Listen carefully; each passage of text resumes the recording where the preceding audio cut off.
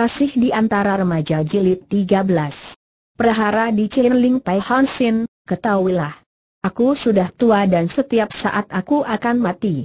Maukah kau memenuhi permintaan seorang tua yang hampir mati Hansin kaget sekali. Dia terharu dan karena memang hatinya amat welas asih, mana dia bisa menolak permintaan orang? Orang tua yang baik, mati hidup di tangan Tian, bagaimana kau bicara tentang mati? Kalau saja permintaanmu itu dapat kulakukan, tentu aku akan memenuhinya, jangan bicara pelintat-pelintut, pendeknya maukah kau memenuhi permintaan seorang yang mau mati, seperti aku ini atau tidak asal saja, sebutkan syarat-syaratnya, asal jangan disuruh membunuh orang, asal jangan disuruh melakukan segala macam kejahatan, aku Chia Hansin berjanji akan memenuhi permintaan ke orang tua, kakek itu nampak girang sekali. Bagus, bicaranya seorang laki-laki, sekali keluar takkan dijilat kembali, Hansin menyambung, agak penasaran karena orang tidak percaya kepada janjinya. Benar. Kau kira aku orang apa hendak menyuruh kau melakukan kejahatan dan membunuh orang? Hansin, ketahuilah, aku adalah ketua Chin Ling Pai dan namaku Giok Tian Chin Chu. Segala nama kosong, memalukan saja. Permintaanku kepadamu hanya satu yakni kau kuminta menjadi muridku, murid yang hendak kuarisi ilmu kuloh Ai Hui Kiam. Karena sudah berjanji, biarpun di dalam hatinya ia tidak begitu suka kalau hanya mewarisi ilmu silat yang memang tidak disenanginya, maka Hansin lalu berlutut dan berkata, Teocu Hansin memberi hormat kepada suhu Giok Tian Chin Chu, bukan main girangnya kakek itu. Bagus, kau benar-benar laki-laki sejati yang patut menjadi muridku. Sekarang, sebagai muridku kau harus segera menurut petunjukku mempelajari ilmu yang hendak ku turunkan kepadamu. Ilmu Loh Ai Kiam itu, suhu benar, maaf, suhu. Sebetulnya Teocu, Teocu sudah hafal, kiranya tidak perlu melelahkan suhu untuk mempelajarinya pula, benar-benar sudah hafal? Coba kau sebutkan satu-satunya jurus dan katakan bagaimana pergerakannya. Hansin duduk bersila dan mengerahkan tenaga ingatannya. Sambil menyipitkan mata melakukan pemusatan pikiran, ia lalu mulai menyebut jurus-jurus itu disertai penjelasannya. Jurus pertama Hui Kiam Tianxia, dengan kedua tangan miring yang kanan menjaga leher yang kiri dibacokkan ke bawah mengarah titik merah di ubun-ubun. Jurus kedua Hui Kiam Chi Tiam, dengan jari-jari terbuka menusuk ke arah kedua titik biru di pundak, demikianlah, satu persatu ia menyebutkan dan melukiskan 36 jurus dari Loh Ai Hui Kiam, demikian cocok dan tepat sehingga kakek itu mendengar sambil melongo. Setelah pemuda itu selesai membaca semua jurus Loh Ai Hui Kiam, kakek itu lalu berkata, Sekarang kau duduklah bersilah di sebelahku, Kumpulkan semua pikiran seperti kalau bersama di dan turut segala perintahku sambil melihat titik-titik pada patung itu. Lekas aku hampir tidak kuat lagi. Lekas, kau harus mempelajari semua jalan darah dan titik-titik hawa dalam tubuh, karena tadi sudah berjanji menjadi murid kakek ini, tentu saja Hansin tidak berani membantah lagi. Mana ada aturannya seorang murid membantah petunjuk gurunya? Ia lalu duduk bersila dan memenuhi perintah kakek itu. Matanya memandang ke arah patung dan telinganya dibuka untuk mendengarkan petunjuk suhunya. Setelah melihat muridnya siap, dengan suara perlahan, lambat dan jelas kakek itu lalu mulai memberi pelajaran tentang jalan darah di tubuh manusia. Kau lihat, pada tubuh patung itu, terdapat 12 jalan darah yang disebut Ki Kengmeh. Keng Siang Moh ditandai garis merah dengan pusat di bagian masing-masing dengan tanda titik merah dan Ki Keng Moh bertanda hitam. Semua jalan darah itu mengalir dari atas ke bawah yang di lambung itu, dengan titik di kanan kiri dan jalannya memutari pinggang, disebut Tai Meh. Demikianlah, kakek itu memberi petunjuk kepada Hansin yang didengarkan dengan penuh perhatian oleh pemuda ini. Hansin merasa girang sekali karena pelajaran itu baginya tidak ada hubungannya dengan ilmu membunuh, maka sebentar saja ia telah dapat menghafalnya baik-baik. Kau sudah mengerti dan hafal semuanya tanya gurunya. Hansin mengangguk dan Giok Tian Chin Chu berkata lagi, sekarang kau rasakan, bukankah di pusarmu terdapat hawa yang terasa hangat dan bergerak-gerak? Hansin merasa heran bukan main. Bagaimana kakek ini bisa tahu apa yang terasa olehnya di dalam pusar? Memang semenjak kecil ia mempunyai perasaan seperti ini dan makin dewasa perasaan itu makin hebat seakan-akan hawa di pusar yang bergerak-gerak itu makin menjadi kuat dan tidak terkendalikan lagi. Kembali ia mengangguk. Nah, kau ingatlah pada jalan taimeh di lambung yang mengitari pinggang dan kau pergunakan kemauanmu untuk memaksa hawa hangat itu untuk melalui jalan darah itu, secara membuta Hansin menurut. Mula-mula hawa yang hangat di pusarnya itu karena tidak biasa dikendalikan, amat sukar untuk dipaksa bergerak.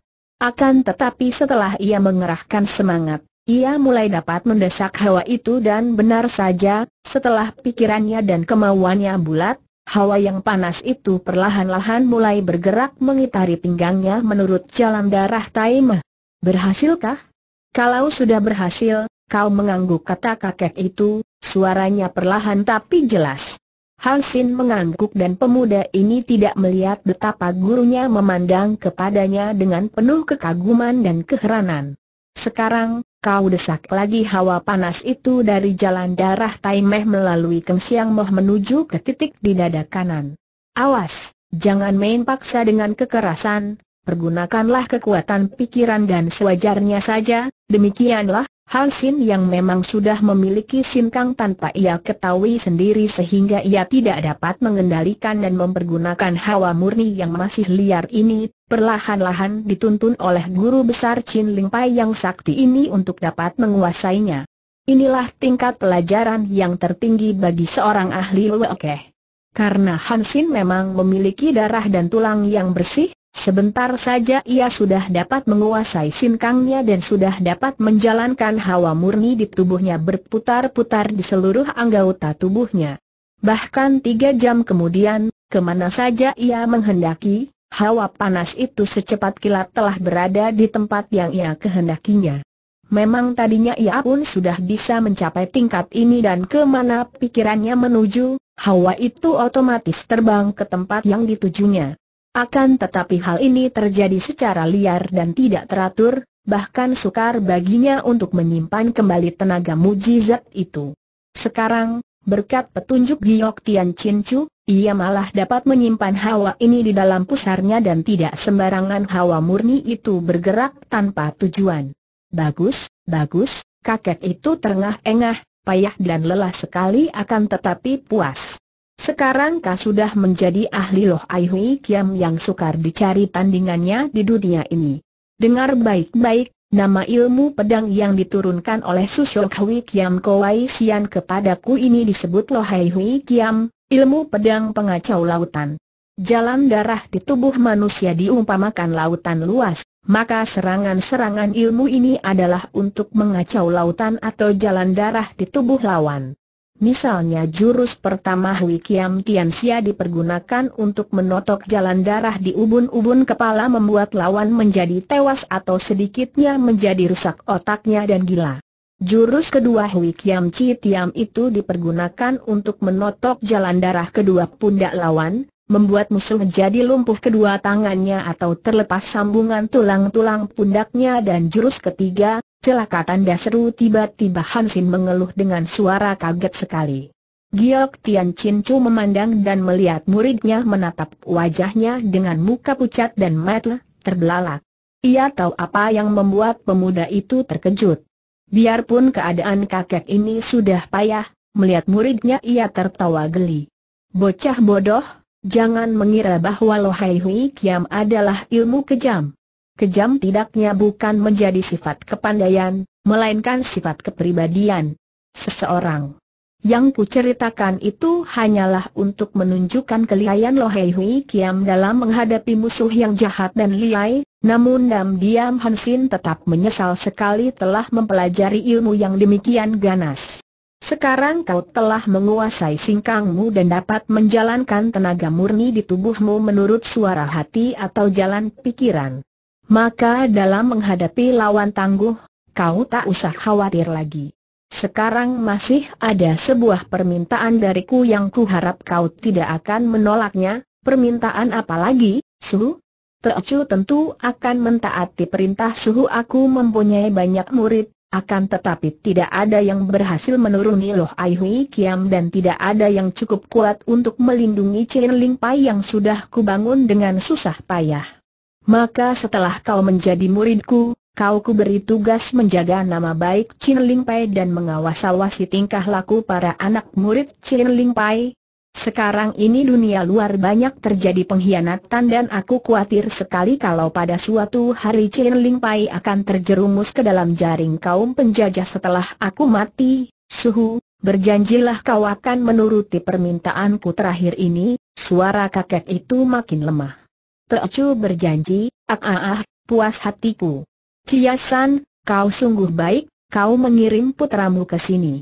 Terima kasih, terima kasih, tunggulah, kita akan saling berkumpul.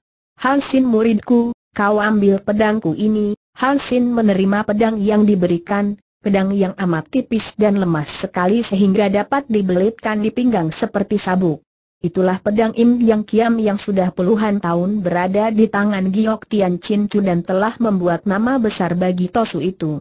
Pada saat itu, terdengar suara orang ramai-ramai dari luar dan mendadak dua orang Tosu menerobos masuk.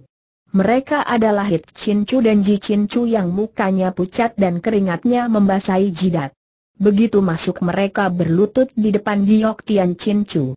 Hem, ada perlu apa kalian masuk tanpa ku panggil bentak Giok Tian Chin Chu. Dua orang Tosu itu melihat adanya Hansin dan monyetnya dan mereka memandang kepada pemuda ini dengan mata mendelik. Suhu, Chin Ling San diserbu oleh kaki tangan pemerintah Cheng. Teocu sekalian sudah melakukan perlawanan, banyak sute yang gugur, akan tetapi musuh terlampau kuat, dibantu orang-orang pandai. Suhu, kita menghadapi kehancuran dan semua ini adalah gara-gara, bocah ini. Mohon keputusan, Tiba-tiba kakek yang sudah amat payah itu serentak berdiri. Suaranya keras. It Cincu, Ji Cincu, ketahuilah. Bocah ini adalah putra Cia Santai Hiap, dia sudah menjadi muridku. Dia inilah sutemu yang kelak akan mewakili aku menjaga nama baik Chin Ling Pai. Eh, Cia Hansin, pemerintah penjajah Cheng mengirim kaki tangannya menyerang kita, menurut pikiranmu, Bagaimana baiknya semenjak kecil Hansin tidak pernah belajar silat, juga tidak suka akan kekerasan. Akan tetapi ia lebih tidak suka lagi kepada penjajah yang amat dibencinya. Maka ia menjawab tenang. Setiap usaha penjajah harus dilawan, suhu. Penjajah harus dihancurkan. Akan tetapi dalam hal ini kita mengingat kekuatan sendiri. Kalau tidak kuat melawan, lebih baik menyelamatkan diri untuk menghimpun kekuatan baru dan kelak baru membalas. Bagus, bagus, dasar turunan pahlawan, masih menempel juga siasat perang leluhurmu kepadamu. Tiba-tiba kakek ini teringat bahwa biarpun Hansin memiliki tenaga sinkang dan pengertian yang mendalam tentang ilmu silat Loh Ai Hui Kiam, namun belum pernah dilatihnya dan akan celakalah kalau menghadapi musuh berat. Cepat-cepat ia berkata, muridku, kau tidak boleh mencampuri urusan pertempuran ini. Lekas kau pergi melalui terowongan ini setibanya di persimpangan, kau belok ke kiri. Kau akan tiba di balik gunung dan selanjutnya kau harus melarikan diri. Cepat Hansin berlutut, menghaturkan terima kasih lalu dengan Xiao Wong di pundaknya, ia memasuki terowongan yang tadi dan terus melarikan diri. Adapun Giok Tian Chin lalu bersama dua orang muridnya keluar dari guha dalam tanah itu dan kakek yang sudah berada di ambang pintu kuburan karena sudah amat tua ini bersama murid-muridnya lalu mengamuk, melawan para penyerbu yang terdiri dari serdadu-serdadu Cheng yang dipimpin oleh perwira-perwira yang kosen dibantu oleh orang-orang gagah yang sudah menjadi kaki tangan pemerintah Cheng terutama sekali banyak pimpinan dari Partai Chow Atung Kai Pang. Akan tetapi perlawanan ini sia-sia saja, selain Giok Tian Chin Chu sudah amat tua dan lemah, juga pihak musuh lebih banyak dan kuat sehingga akhirnya kakek yang gagah ini tewas dalam medan pertempuran, tewas bukan oleh senjata musuh melainkan karena kehabisan tenaga.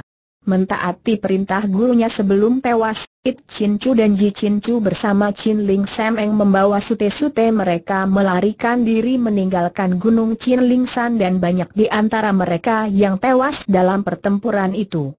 Bagaimanakah tentara Cheng bisa menyerbu ke Chin Ling San? Bukan lain adalah karena Tok Gan Sin Kai dan dua orang sutenya bersama Tio Li Hoa setelah dikalahkan dan dipukul mundur oleh Chin Ling Sam Eng dibantu Chin Chu dan Ji Chin Chu dalam memperebutkan Hon Sin, lalu mereka lari turun gunung. Akan tetapi pada keesokan harinya mereka kembali membawa tentara dan pembantu sehingga terjadi pertempuran itu. Hansin mendengar teriakan-teriakan ramai dari orang-orang yang bertempur. Akan tetapi ia mentaati perintah gurunya dan terus melarikan diri melalui terowongan. Sampai di simpang empat ia membelok ke kiri dan tak lama kemudian betul saja, terowongan itu membawanya keluar ke sebuah gua yang berada di belakang gunung. Suara orang bertempur tidak kedengaran lagi dan pemuda ini berjalan perlahan-lahan sambil mengenangkan semua pengalamannya. Ilmu silat, lagi-lagi ilmu silat diajarkan orang kepadaku. Chiong Mo Kai menjadi guruku yang pertama, mengajarkan Liap Hang Sin Hoat, kemudian Giok Tian Chin Chu menjadi guruku kedua. Mengajarkan Lo Hei Hui Kiam. Hem, ilmu silat. Bagiku untuk apakah? Hansin, Hansin, kau tidak suka ilmu silat tapi orang memaksa-maksamu mempelajarinya. Ilmu silat itu mana bisa kau mainkan berpikir demikian, Pemuda ini lalu menggerakkan kaki tangannya mencoba untuk memainkan beberapa jurus ilmu silat Liap Hang Sin Hoat. Akan tetapi begitu memukulkan tangan ke depan, ia teringat bahwa dengan kepalan tangan itu ia harus memukul dada orang, maka cepat-cepat ia menarik kembali tangannya, berhenti bersilat dan menghela napas panjang. Ia menggeleng-gelengkan kepalanya dan berkata seorang diri. Tidak bisa aku pukul orang, Xiao Wong yang berjalan di sampingnya, melihat pemuda itu bersilat menjadi girang sekali. Ia cecowetan karena selama hidupnya belum pernah ia melihat Hansin bersilat. Dianggapnya lucu. Sekali maka ia ikut mencak-mencak. Melihat pemuda itu tiba-tiba berhenti, ia menjadi kecewa dan monyet ini melanjutkan gerakan-gerakan Hansin tadi, bersilat ilmu silat liap Hang Sin Hoat dan menyerang sebatang pohon. Hebat monyet ini. Tiap kali tangannya memukul pohon, daun-daun pohon itu rontok dan cabang-cabang pohon bergoyang-goyang. Inilah akibat dari racun darah ular yang membuat tenaga monyet itu menjadi sepuluh kali lebih kuat. Melihat ini, Hansin berpikir. Bersilat memukul pohon saja sih tidak ada jahatnya, asal jangan memukul orang. Kenapa aku tidak akan coba-coba? Barangkali aku pun bisa membuat rontok beberapa helai daun seperti perbuatan Xiao Wong itu. Setelah berpikir demikian, ia meloncat ke dekat sebatang pohon besar dan menjalankan jurus Hui Kiam Kan Goat, dua jari tangannya menusuk ke depan. Cus dua jari tangannya itu amblas ke dalam batang pohon yang dirasakannya empuk seperti bubur saja.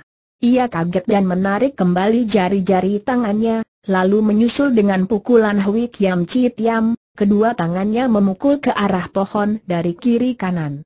Beluk ia tadi menggunakan daya pikirannya mengerahkan hawa sinkang ke arah kedua lengannya untuk melakukan pukulan itu, akan tetapi begitu mengenai pohon, ia hanya merasa kedua telapak tangannya enak dan hawa dari kedua tangan itu seakan-akan menembusi pohon.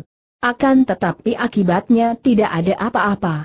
Jangankan daunnya berguguran, malah bergoyang sedikit pun tidak. Terdengar suara ketawa dari Xiao Wong yang mentertawakan tuannya. Sin menjadi panas hatinya. Dua jari tangannya tadi dapat melubangi pohon, kenapa pukulan kedua tangannya malah tidak mengakibatkan sesuatu? Ia mendongkol juga karena ditertawai monyetnya, maka karena gemas ia menyalahkan pohonnya yang dianggap terlalu kuat.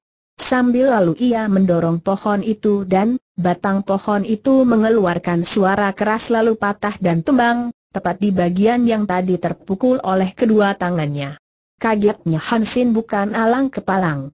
Ia tahu bahwa pukulan Yahui Kiam Chi Tiam tadi adalah pukulan disertai tenaga luakang yang ampuh sehingga biarpun pohon itu sendiri tidak bergoyang, akan tetapi sebelah dalam batangnya sudah hancur oleh tenaga pukulan Honsin, maka ketika didorong lalu tumbang. Hansin menjadi pucat malah, sebaliknya daripada girang. Celaka, pikirnya. Menjadi manusia apa aku? Seperti iblis pohon saja kupukul tumbang. Kalau aku memukul orang bukankah berarti aku membunuhnya? Celaka, iblis sudah menguasai diriku, pada saat itu berkesyur angin dan tahu-tahu di depannya berdiri seorang wanita yang amat menyeramkan. Wanita itu pakaiannya aneh dan asing.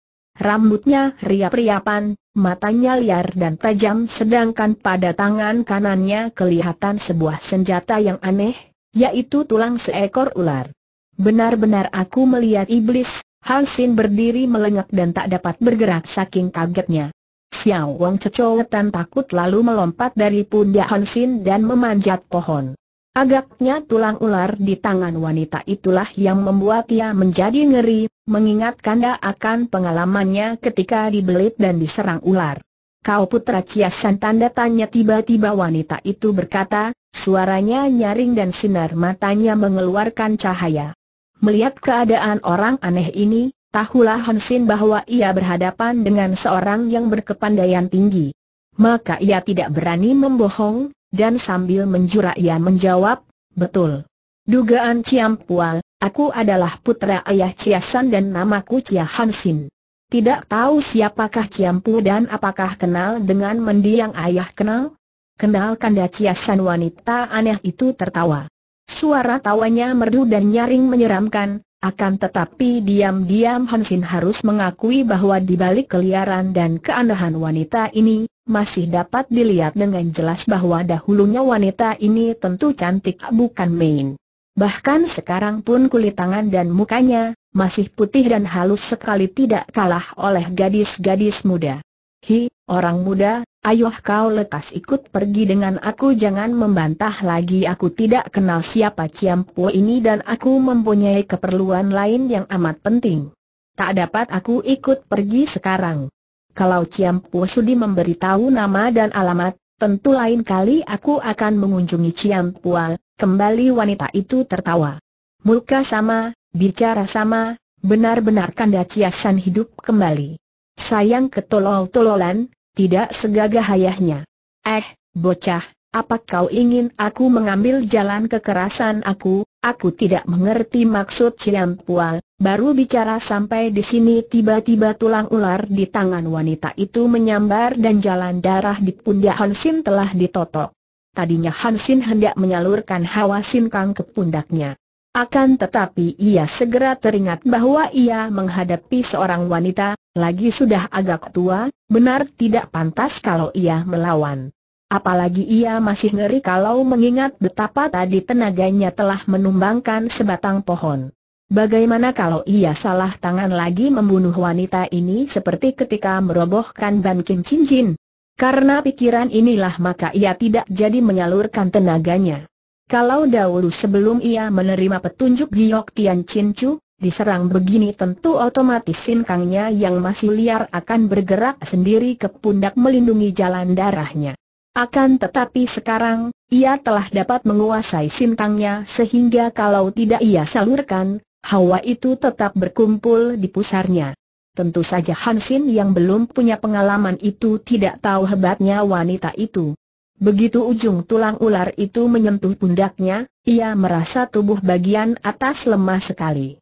Bukan main kagetnya, namun sudah terlambat. Kembali tulang ular menyambar, kini ke arah kedua kakinya dan robohlah Honsin, terguling ke atas tanpa dapat bergerak lagi, seluruh tubuhnya lemas dan tidak dapat digerakkan. Xiao Wong yang tadinya takut-takut melihat wanita yang memegang tulang ular itu, Kini melihat Hansin diserang, timbul keberanian dan kemarahannya. Ia mengeluarkan pekik marah dan dari atas pohon ia meloncat dan menyambar ke arah kepala wanita itu. Wanita itu mengeluarkan suara ketawa dingin, tubuhnya mengelak dan tulang ular menyambar ke arah kepala Xiao Weng. Hebat sekali sambaran ini dan kalau mengenai sasaran, tentu kepala monyet itu akan remuk. Akan tetapi Xiao Wong bukanlah sembarang monyet. Merasa datangnya hawa sambaran senjata lawan, biarpun tubuhnya masih di udara, ia dapat membuat salto dua kali ke belakang dan terlepas dari ancaman. Wanita itu diam-diam merasa kaget sekali. Seorang ahli silat yang tangguh jarang bisa menghindarkan diri dari satu kali serangannya seperti tadi, kenapa monyet kecil ini sanggup? Malah sekarang Xiao Wong sudah menyerang lagi dengan gerakan-gerakan aneh seperti pandai bersilat. Wanita itu timbul kegembiraannya. Monyet yang dibawa Ciasa dulu tidak seperti ini. Aneh, Aneh tanda seru ia lalu memutar senjatanya dan sinar kebuah bergulung-gulung mengurung diri Xiao Wong Ik tentu saja segera. Terdesak hebat. Monyet ini mengeluarkan suara cecowetan dan menjadi jerih namun ia terus melawan dan kegesitannya yang luar biasa membuat senjata lawan belum juga berhasil menggores kulitnya. Pada saat itu berkelebat bayangan putih dan seorang pemuda yang memegang golok sudah tiba di situ. Menggunakan kepandaian tinggi menghina yang lemah, benar-benar memalukan seru pemuda itu yang segera menggerakkan goloknya menerjang maju. Sekali goloknya berkelebat, terdengar suara kring-kring keras sekali dan gulungan kehuhu dari senjata tulang ular itu dapat dibuyarkan. Xiao Wong yang melihat jalan keluar segera meloncat dan menubruk tubuh Hon Sin, mengguncang-guncangnya sambil mengeluarkan bunyi seperti menangis. Sementara itu, Wanita setengah tua yang rambutnya riap-riapan menjadi marah sekali melihat datangnya pemuda tampan yang memegang golok. Bocah sombong, kau berhadapan dengan Jin Cham Hoa, Alkojo manusia, berani menjual laga? Ayo, menggelinding pergi pemuda itu bukan lain adalah Fang Yanbu, pemuda yang memenuhi permintaan Bieng untuk membebaskan Hon Sin, menjadi kaget bukan main mendengar disebutnya nama Jin Cham Hoa. Sudah sering kali ia mendengar nama hebat ini, malah ibunya sendiri pernah memberitahu bahwa di antara orang-orang berbahaya yang lebih baik dihindarinya, termasuk Jin Cham Hoa inilah. Siapa kira sekarang ia malah berhadapan dengan iblis wanita ini sendiri dengan senjata di tangan. Kalau saja ia tidak melihat Hansin roboh dan monyetnya tadi terancam, ia tentu akan mengalah dan pergi meninggalkan wanita itu. Akan tetapi ia telah melihat Hansin, melihat monyet. Ia yakin bahwa inilah tentu kakak dari Bieng. Ia ingin berjasa terhadap Bieng, juga ingin mengikat persahabatan dengan kakak beradik ini, menghapuskan permusuhan dan dendam lama. Sekarang melihat Hansin agaknya terluka dan keselamatannya terancam oleh Jin Cham Hoa, bagaimana dia bisa tinggal diam saja? Apa yang akan ia katakan terhadap Bieng? Segera ia menjura dan berkata, Ah, kiranya aku berhadapan dengan Jin Cham Hoa Ciampu yang terkenal. Harap maafkan Fang Yanbu kalau mengganggu Ciampu. Ibuku, Ang Jiuto Anyo sering kali menyebut-nyebut nama Ciampu dan memesan agar supaya aku memberi hormat kalau bertemu dengan Ciampu. Jin Cham Hoa mengeluarkan suara mengejek. Dia tadi sudah menduga bahwa pemuda ini tentulah bukan pemuda sembarangan, melihat dari ilmu goloknya yang hebat. Kiranya putra Angjiuto Anio. Mana dia takut menghadapi orang seperti Angjiuto Anio? Dia, putri Hui yang biasanya dihormat setiap orang. Memang, Jin Cham Hoa ini bukan lain adalah balita putri Hui cantik jelita yang dulu pernah menggoda Ciasan. Kini dia telah menjadi tua, namun ilmu kepandaiannya sudah beberapa kali lebih hebat daripada dahulu. Kalau dahulu di waktu mudanya saja balita sudah lihai sekali, apalagi sekarang. Kepandaiannya tinggi juga keganasannya memuncak sehingga ia mendapat julukan Jin Cham Hoa atau Alkojo manusia karena entah sudah berapa ratus orang ia bunuh dengan kejam. Aku pernah melihat Ang Jiuto Anio. Mengingat mukanya, baik kau pergi dan aku ampunkan kelancanganmu, katanya sambil lalu dan matanya kembali memandang ke arah Honsin. Pemuda ini hanya roboh tertotok, tidak pingsan maka ia dapat mendengar semua percakapan itu. Ia merasa heran melihat seorang pemuda gagah datang menolongnya, akan tetapi ia lebih heran dan kaget sekali ketika mendengar bahwa wanita itu adalah Jin Cham Hoa Balita, seorang di antara mereka yang mungkin membunuh ayah bundanya. Seorang yang dianggap berbahaya oleh Chiong Moke dan terhadap siapa ia harus berhati-hati. Sementara itu, Yan Bu dengan masih hormat dan tenang berkata, harap Ciampu suka memaafkan aku. Aku datang untuk menjemput saudara Cia ini bersama monyetnya karena ditunggu oleh seorang di tepi sungai. Aku sudah berjanji untuk menjemputnya, gila. Aku yang akan membawa dia pergi maaf, terpaksa aku melindunginya, merah wajah Jin Cham Hoa, matanya seperti bernyala. Bocah, ibumu boleh menakuti anak kecil dengan tangan merahnya. Akan tetapi jangan kira aku takut. Kau tidak tahu aku sudah mengalah, kalau begitu kau sudah bosan hidup. Mampuslah tiba-tiba sekali tulang ular itu menyambar ke arah muka Yanbu. Baiknya pemuda ini memang sudah bersiap sedia, dan memiliki ketenangan luar biasa, maka melihat sinar kehuahu menyambar ia segera berkelit sambil melompat mundur dan menggoyang goloknya. Tahu bahwa ia berhadapan dengan lawan yang amat kuat, ia tidak mau mengalah dan cepat menggerak-gerakan goloknya membalas dengan serangan-serangan yang hebat pula. Jin Cham Hoa Balita mengeluarkan teriakan mengerikan, setengah tertawa setengah menangis dan tubuhnya berkelebatan seperti burung. Celaka, pikir pemuda ini. Namanya Jin Cham Hoa, ia tak pernah meninggalkan lawan tanpa lebih dulu membunuhnya. Kalau aku sampai tewas, siapa yang akan memberitahukan kepada Nona Chia tentang keadaan kakaknya? Dan melihat gelagatnya, ia hanya hendak menawan Chia Hansin, bukan hendak membunuhnya. Pemuda ini tidak takut menghadapi ancaman maut, hanya khawatir tidak akan dapat memenuhi janjinya terhadap Bieng. Benar-benar cinta itu lebih kuat daripada maut, orang berani menentang maut akan tetapi takut menghadapi kegagalan cinta, Ah, lebih baik ku pancing dia dari sini, pikir lagianmu yang amat cerdik. Melawan sampai menang aku tak sanggup, akan tetapi mempertahankan diri kiranya masih kuat beberapa jurus lagi, setelah berpikir demikian, pemuda ini lalu menyerang hebat sekali. Selagi lawan melompat mundur, ia lalu melarikan diri sambil berkata, Biarpun namamu Jin Cham Hoa, tak mungkin kau bisa membunuhku karena selain ilmu lari cepatku lebih tinggi, kau pun takut kepada ibu Yan Bu sengaja memanaskan hati iblis wanita itu. Jin Cham Hoa memekik marah. Ku bunuh kau. Ku bunuh kau sampai di mana pun juga tanda seru dan betul saja, pancingan Yan Bu berhasil baik dan iblis wanita itu dengan rambut berkibar-kibar mengerikan terus saja mengejar. Celakanya bagi Bu, ilmu lari cepat iblis wanita itu ternyata hebat sekali dan sebentar saja sudah hampir dapat disusul. Akan tetapi Yan Bu memiliki ketabahan luar biasa dan semangat besar, juga ilmu goloknya yang ia warisi dari Yok Ong bukanlah sembarangan ilmu golok.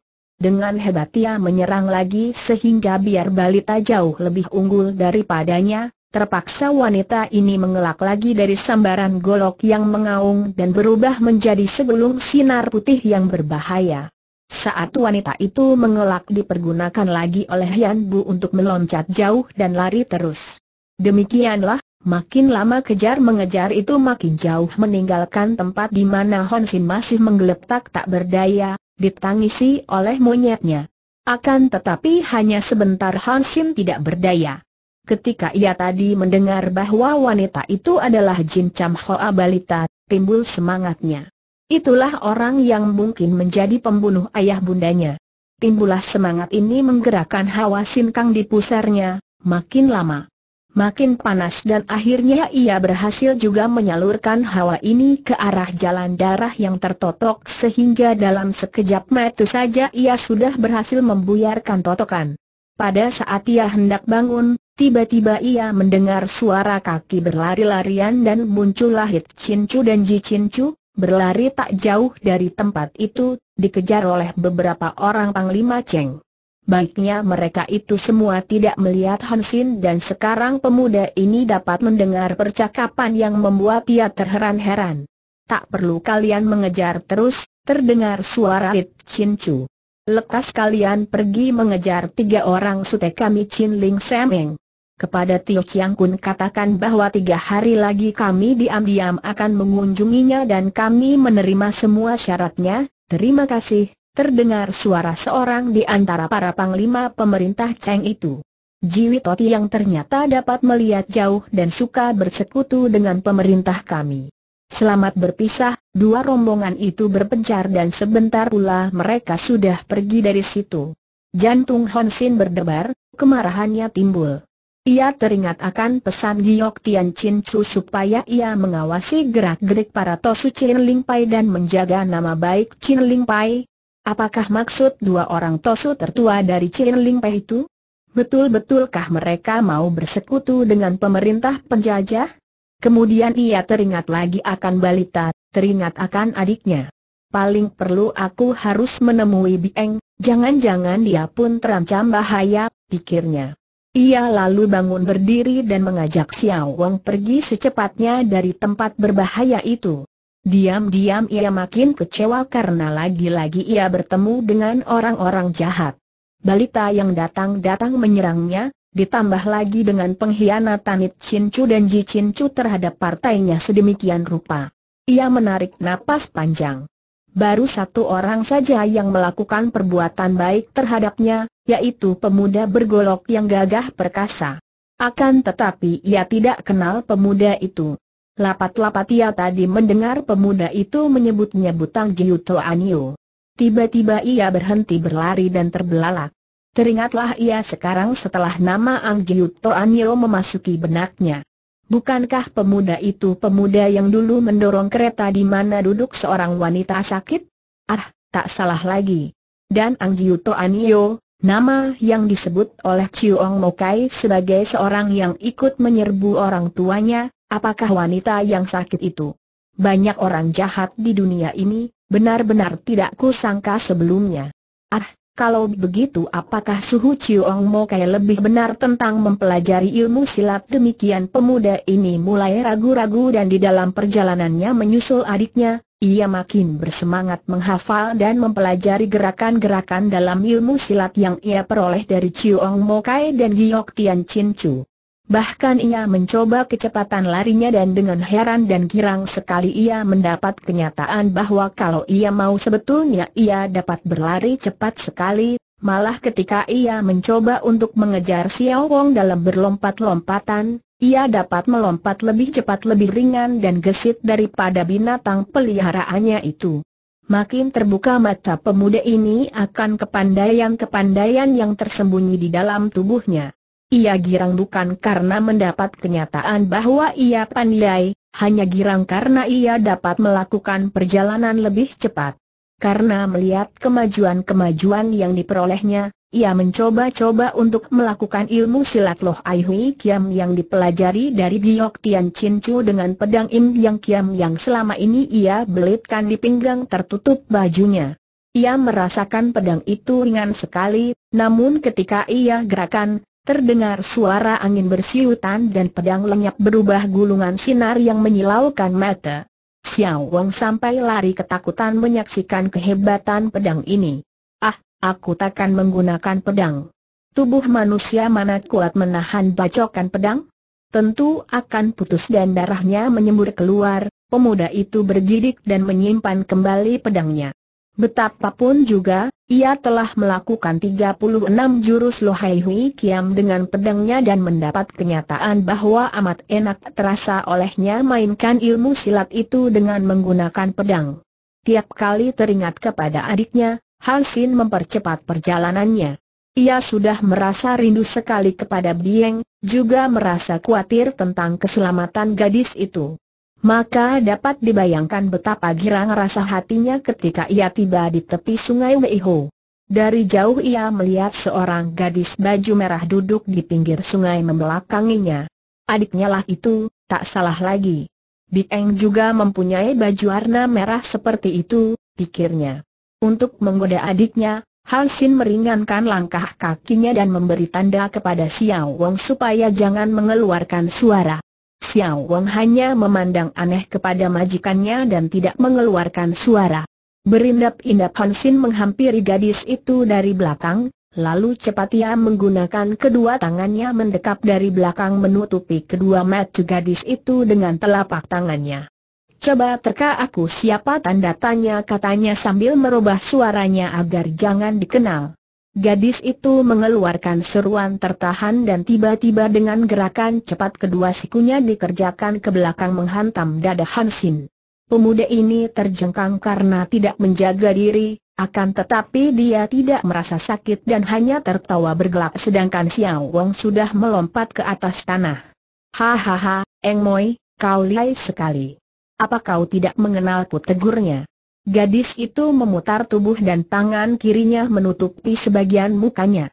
Sepasang mata jeli yang kemerahan seperti habis menangis memandang Honsin dan pemuda ini melongo. Ternyata gadis ini sama sekali bukan Bieng. Celaka, pikirnya. Pantas saja Xiao Wang memandangnya dengan aneh. Kurang ajar, kenapa binatang itu diam saja tidak memberitahu kepadanya. Pikiran ini dibantahnya sendiri. Mana ada monyet bisa memberitahu. Adalah dia sendiri yang lebih bodoh dari monyet. Kau, kau bukan Bieng?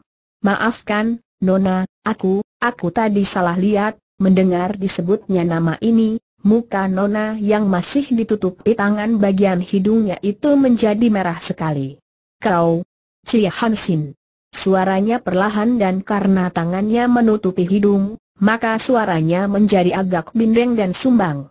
Hansin merasa heran mengapa banyak sekali orang mengenalnya. Hal ini sudah amat mengherankan hatinya ketika ia melakukan perjalanan dan ia sudah memikirkan keadaan yang menyolok ini. Dasar ia cerdik, ketika ia melihat betapa balita juga mencarinya, ia dapat menarik kesimpulan bahwa orang-orang Kanglo itu mencari karena ada hubungannya dengan surat wasiat peninggalan Li Chuseng. Sekarang melihat gadis yang selalu menutupi hidungnya ini juga mengenalnya, ia tersenyum. Betul, Nona. Dan siapakah Nona? Apakah Nona melihat adikku yang bernama Chia Bieng? Dia menanti kedatanganku di sini, tiba-tiba suara gadis itu berubah geram. Karena aku mengenal dia dan kau kakaknya, maka kau harus mati setelah berkata demikian, dengan tangan kiri masih menutupi mukanya, tangan kanannya mencabut sebatang pedang. Hansin memandang dengan mata terbelalak dan kembali hatinya tertusuk oleh perasaan kecewa. Benar-benar manusia makhluk paling jahat di dunia, pikirnya. Sudah banyak aku bertemu orang yang tanpa sebab mau saling bunuh dengan kejam, sekarang gadis ini yang sama sekali tidak ku kenal, begitu berjumpa juga mau membunuhku. Memikir sampai di sini, ia menjadi geli dan tertawa. Nona, tidak ku sangka sama sekali bahwa Giam Laong, Raja Akhirat, ternyata adalah seorang gadis cantik dan muda seperti kau.